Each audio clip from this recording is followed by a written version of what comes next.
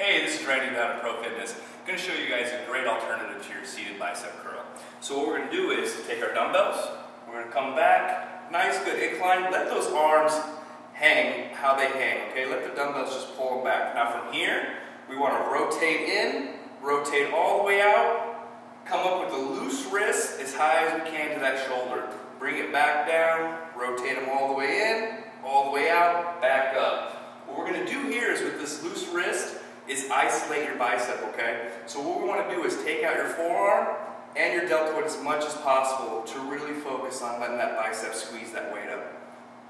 Okay, here we go. Let me show you a couple reps what it really looks like nice and smooth. You don't want to go up super fast or super slow. It's about controlling that weight on the way up and on the way down. No hesitation. Rotate them in, rotate them out, straight up. As soon as you're coming right back down. Nice and smooth. Really feel it. You're going to want to go with a lighter weight here. Because of that loose wrist, you'll feel it much different. So start off with a little lighter than you normally would.